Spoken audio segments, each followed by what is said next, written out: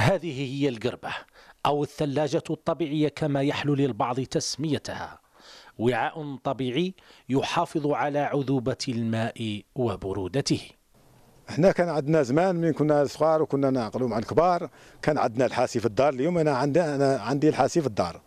وعندنا القربة هي الفريجيدير. والقربة كانت حاجة ستابل يعني القربة كانت عندها الحمارة ثلاث سلوكة وشادينها هي في الوسط وهي دايرة. ونديروها وتشد البرود كاع 24 ساعة على 24 ساعة. والناس تشرب الماء الطبيعي. تحضير القربة عملية شاقة وممتعة في آن واحد.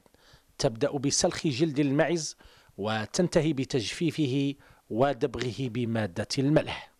صنعة القربة كنديروا لها باك نذبحوا المعزة ونسلخوها هذه برك نديروا لها كيما هاك نديروا هنا الملح.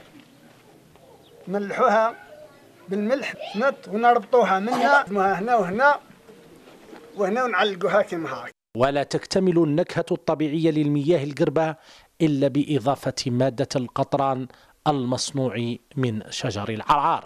نديروا فيها القطران.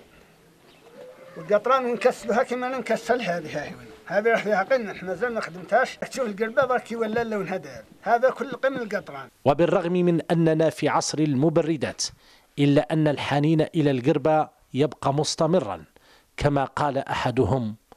أميها بالقطران من جلد البياض ترويني وشكوة البن الممخوض عند السادات مقام.